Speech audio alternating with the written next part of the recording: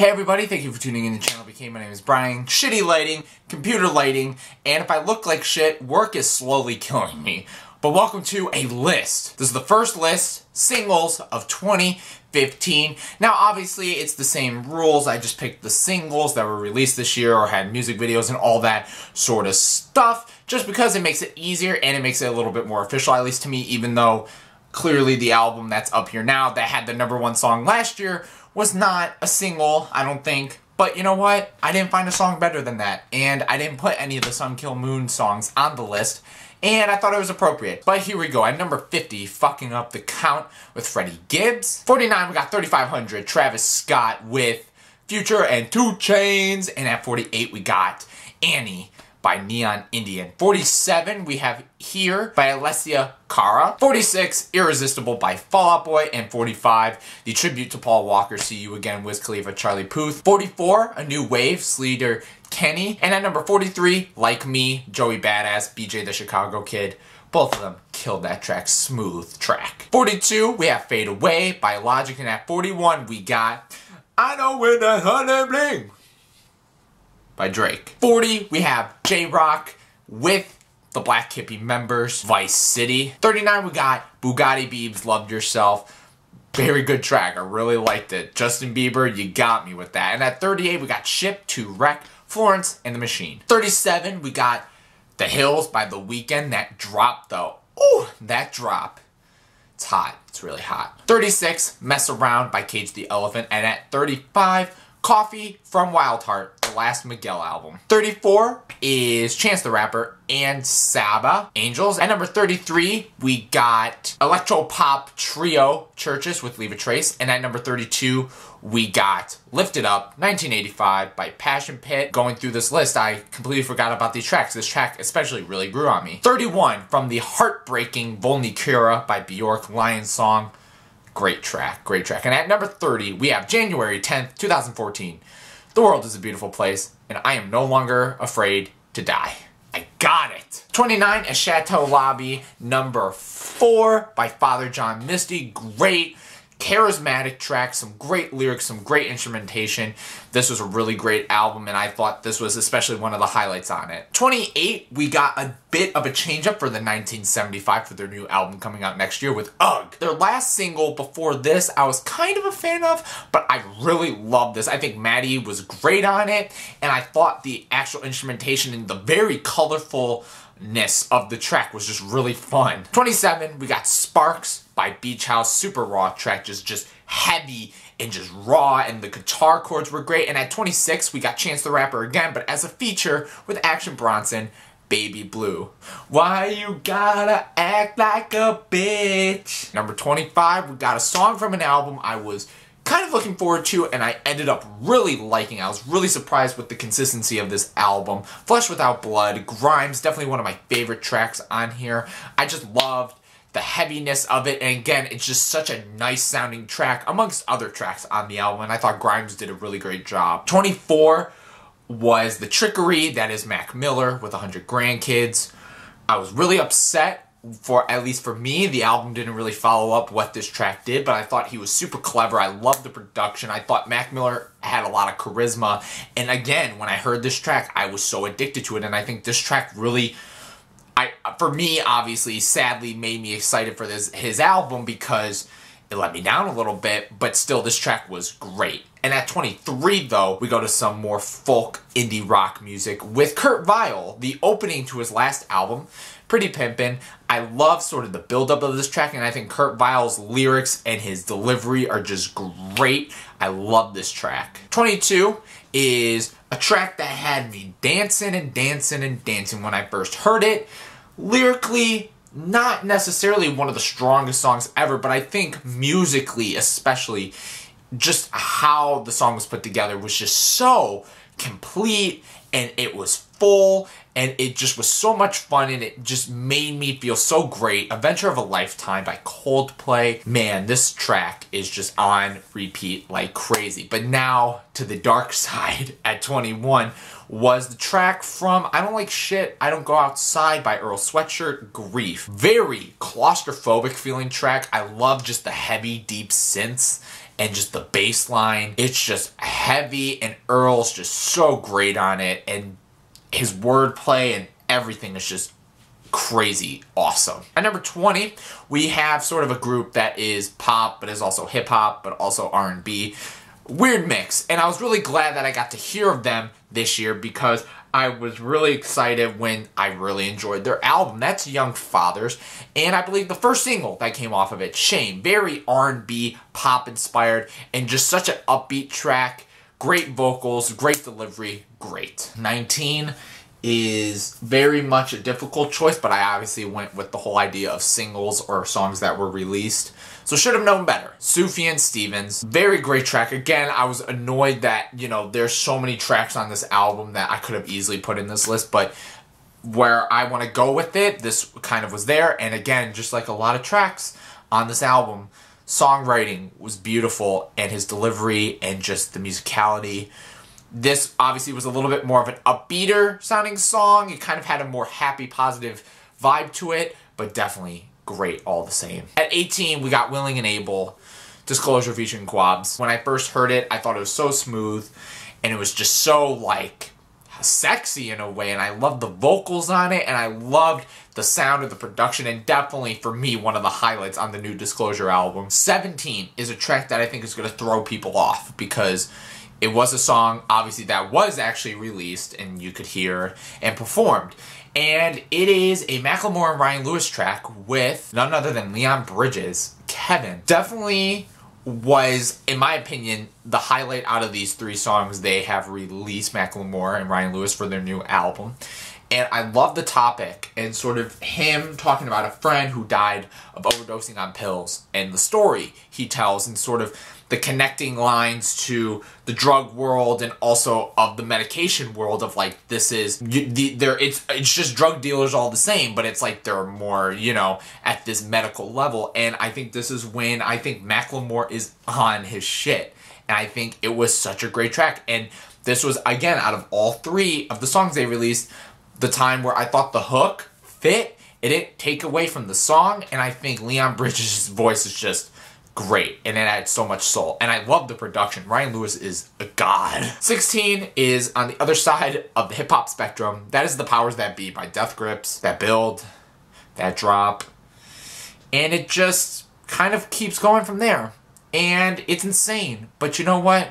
I don't know what I'm about to do. 15, again another hip hop track a highlight on a double album that I think shouldn't have been a double album because I thought there was a lot of filler moments, but that is for Vince Staples, Norf Norf, Clams Casino, I salute you, you're a beautiful son of a bitch, this beat was haunting, first time I heard it, I was instantly jaw dropped, the atmosphere and Vince's delivery and his storytelling is just perfected on this track. 14 is Thundercat, with some help from Flying Lotus and Kamasi Washington with them changes, the progressions, just Thundercat in general, and even the songwriting was definitely just great on here and definitely a part of an album that I wish just went on for so long because I was just so into that album. But definitely a highlight track from here. 13, Untouchable, Pusha T. Pusha T I don't think disappoints. And in terms of something like this or numbers on the boards and stuff, I don't really know where this is. I think this is still a great track,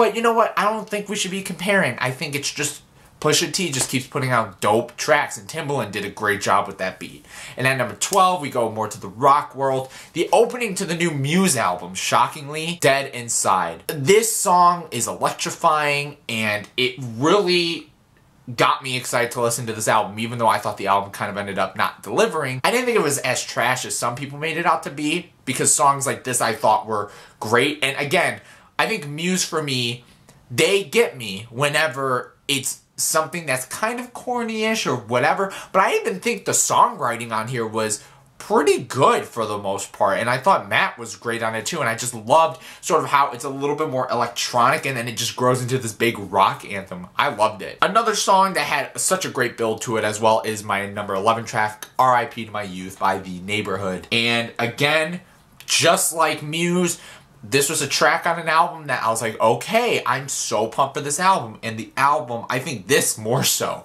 than Muse really let me down. But again, songwriting, structurally, and as a band where they are now, I think this was the perfect example of where the Neighbourhood can go. It was such a great song and it just the mood of it was so great. I love the organs and just the sweeping guitar riffs. So epic. Number 10. Number 10. Garden of Lavender by Sun Kil Moon. Yes, it was released, so I could do that. I could put that there. But the huge epic song off his new album, Universal Themes, when I first heard it, I was listening to it constantly. I just loved the mood of this track. And then it sort of goes into a completely different area and then it goes back down again. And this album, you know, obviously something like Benji as well, where Sun Kil Moon's sort of doing this weird sort of diary approach with his lyrics. And this track is no different. And it's just it's so enthralling and so vivid and i think it holds my attention the whole time.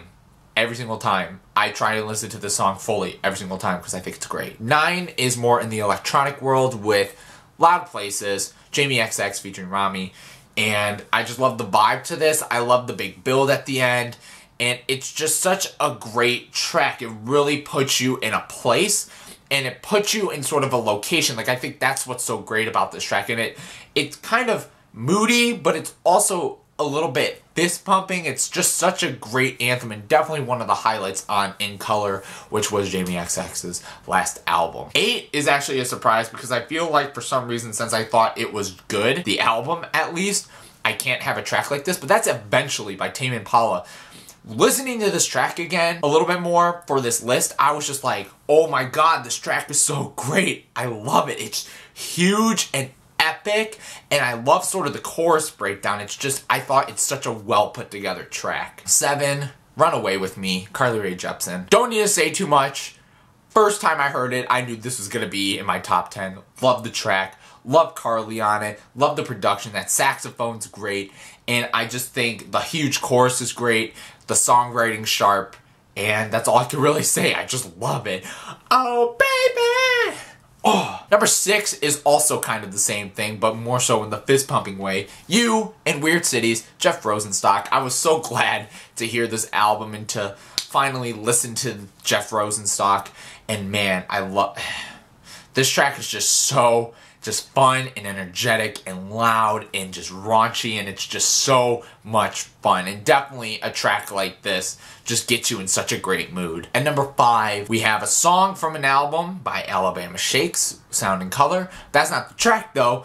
Don't Wanna Fight. This track is just heavy and funky and soulful and just the once the song starts and Brittany starts just belting out these great lyrics with her great voice that just the vibe of the song is just so infectious and just grabs a hold of you. At number four, we got Sister Cities, Hop Along. Vocally, this band is incredible, and musically, it's just great indie rock. And I could have honestly put any song from this album on this list, but I think Sister Cities was sort of the one that going back and listening through, that was, I think, the perfect representation of what I love so much about the band. Number three is, to me, one of the best rap songs in a while, and this is an artist I've been lucky enough to watch grow, and I'm so excited to see where he goes after this, but it's from Mick Jenkins.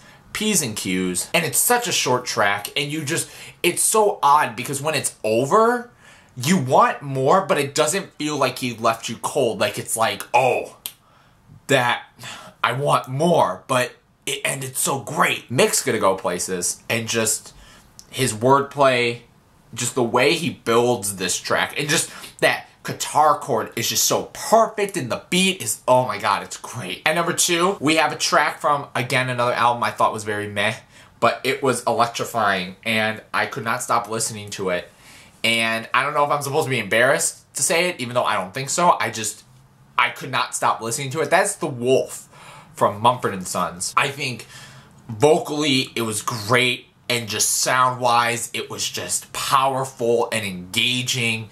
And again, I could not let up. Something like Muse or The Neighbourhood. This was a track from an album that I obviously didn't really like, but the song itself was just too damn good to not like. And at number one, it's obvious who it is, but what song?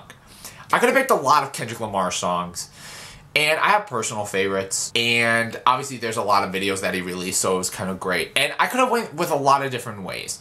I could have went to the King Kunta route. I could have went to the These Walls route because that's actually personally my favorite song on the album. Or I could have went to Alright. But I think there was always one track that held my attention the most when I first heard it because even though I love all those tracks, nothing really made me stop and just kind of think like the Blacker the Berry did. It was just raw, just so powerful, and really just showed that Kendrick was on a mission to do something. And I think he pulled it off. And this track just sonically and lyrically was it was top tier rap. It definitely was something that I always would go back to and just revisit some of the lyrics he said because as a piece of work, like that song in particular, being broken down by like prize winning like poets and stuff there's something about that that makes it worthwhile. So that's my list of 2015. Guys, put your list in the comments below or are some of these songs up there with that too. If you liked, please like and please subscribe because I'm going to be doing more lists. Albums should be coming later in the week. Movies should be coming sometime next week. But I'm so glad I finally have this out for you guys. So thank you guys so much for watching and thank you so much for tuning in to Channel BK. Peace out, guys.